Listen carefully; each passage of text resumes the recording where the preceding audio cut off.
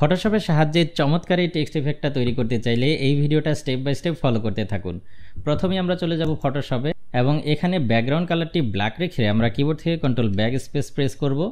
Toolbar থেকে text টুলটি select করে প্রয়োজন অনুযায়ী কিছু একটা টাইপ করে নেব। প্রেস কন্ট্রোলটি ড্রাগ করে আমাদের প্রয়োজন অনুযায়ী টেক্সটের সাইজটাকে ছোট বড় করে নেব। হিট এন্টার এখানে ক্লিক করে আমরা গ্রেডিয়েন্ট ওভারলি সিলেক্ট করব। এখান থেকে আমার এই সেম সেটিংসটা যদি আপনারা কপি করেন, তাহলে সেম রেজাল্ট পাবেন অথবা আপনারা আপনাদের প্রয়োজন অনুযায়ী সেটিংস চেঞ্জ করে নিতে পারেন। Hit enter right click select convert to smart object go to filter filter থেকে পিক্সেলেট এখান থেকে কালার হাফটোনটা সিলেক্ট করব।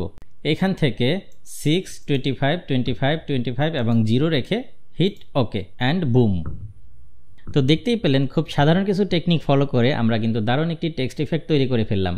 আপনি এই সেম টেকনিক ফলো করে আরও বিভিন্ন টাইপের গ্রেডিয়েন্ট অ্যাপ্লাই করে আপনি আরও দারুণ দারুণ সব টেক্সট ইফেক্ট তৈরি করতে পারবেন।